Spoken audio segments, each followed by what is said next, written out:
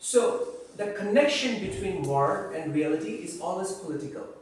You know, that's why artists, activists, they're always, in a way, defying the politicians. Politicians want to you know, define and describe world in particular terms, and artists they bring in new knowledge. They bring you know in new news from somewhere else describe the realism in different ways. That's how. And when the when the time change, when new description, new knowledge comes, you know, there's always some writer, somebody comes, some artist comes and create a new language to describe this or capture this reality.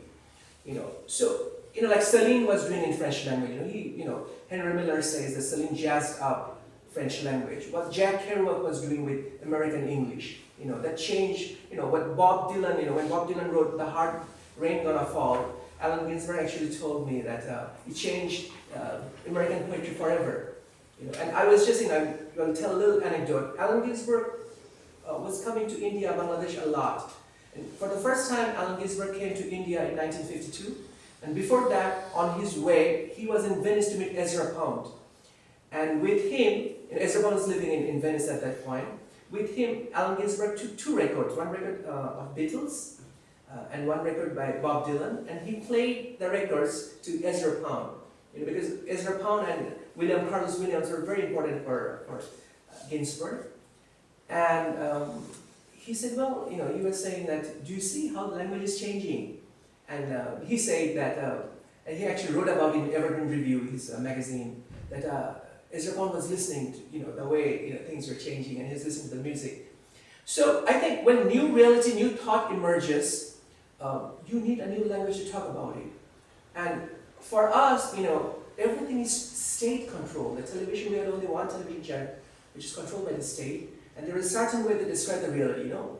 What the government head is doing, that's the only thing you see in, in reality. Like I was telling Gerhard the other day that in 1946 in Germany, you know, Heinrich Böll, Günter Grass, uh, all these people, they created a group of 46. They say that I don't know what's saying too. I say, when this atrocity happened in German language, how can you write poetry after that in this language? So in 1946, actually, they were saying that when Nazis created propaganda in this language, we have to save this language from the rubble and create a new language to create literature. Same, you know, every time, you know, every, every, in every era, time changes. You know, you need new language to describe the reality. So it's not only me, there was a whole group of people through the whole 80s who were trying to create a new literary language that will describe our reality, but then I left. Um, things progressed a little bit. By the time, and probably it was not the right time, that's why it didn't happen. By the time I came back by 2003, 2004, you know, everything was ready and blog was right there. Government couldn't really control things anymore. You know, the intellectual, the intelligentsia couldn't really control things. It was ready to break open. And it was my big luck that I was there and I could be the catalyst. And there were other people as well who have been there, you know, and they saw, saw me as an outsider coming and taking over this stuff. Uh, we had conflicts, a lot of conflicts, as you know, a lot of debates. But what, at the same time, we were having private TV channels. Before that, we didn't have private TV channels. So the moment they found a new language to create things that can sell, one thing we forget that you know, Che Guevara, when you put Che Guevara's face on a Ralph Lauren t-shirt, it sells for $200. You know, revolution is good business. You know, and you know, Michael Moore is making film, you know, about changing the system. It's been distributed at Miramax. It's good business. You know, revolution is always good business, and we forget that. So it was good business for them. So they pick up the language. They're making, you know, they're making play with it, and people loved it because it was describing their reality. They were, you know, they're tired of looking at these old, tired things, you know, all through decades and decades. So somehow the time was right, everything was right, and it worked. Um, so, yeah. But now we're already uh, going very fast up to the, to the films, and Mm -hmm. because um, on the one hand you were writing uh, uh, um, the script for films as well as you are a producer and a film director as well. Yes. Uh, I think in uh, in our area area or here in Europe you are known for, for this uh, film you have shown in, in Cannes, Yes, and yes. so on. We will, I think I will pass on that to you. Okay, okay, okay. And also with the other films, Guerrilla and, and uh, Marjan, Meherjan. Marjan, um, I pass on to you because Okay. it's Yeah, yeah. As far as I understood, yeah, as you said, your, your writings are more about a new language and to create an empowering space maybe for, for Bengali people and also Wilmar for uh, Bengali people in the diaspora and so on. And your films, but mainly deal with, at least the three films we mainly will talk about, mainly deal with brute violence, like physical violence in the context of religious and nationalism of religious fundamentalism and nationalism. And so I want to know, like first to get people to get the context of these three films, like you call them torture talkies, like it's a one film is called Atrocity Exhibition, which is like Ausstellung der Grausamkeit, which uh, like is like also a quote by a book of J. J.G. Ballard. I guess. Yeah. I And just know the song by Joy Division. Exactly, a punk song, exactly. There's all these layers of meaning. Yeah, yeah, yeah. So this is Atrocity Exhibition, and then there's a second film called uh, Pornographia, Pornographia, and then the third one, Citizen of the Womb. Citizen of the Wombs. And he like this is a trilogy, and like he calls them torture talkies. And now I just want him to give you a bit like a context why they are called torture talkies and what is the connection between the films. Okay. I go a little back, Yeah. so the context is full. And it's always starts with a girl. Godard, Jean-Luc Godard says that if you have a gun and a girl, you can make a film. I believe in that, you know. So um, I fall in love with a French girl in 2004. So with my life, you know, I am always starting from the zero, always, you know. So uh, in 2004, I come back to Paris, started living, you know, I, we get married in six months and live in Paris in 2004 from Bangladesh. And all of a sudden, two of my friends, you know, they want me to produce a film. Uh, first, they, they approached me to write a screenplay because they know uh, I write screenplays. I was trained as a writer. Columbia, I studied creative writing.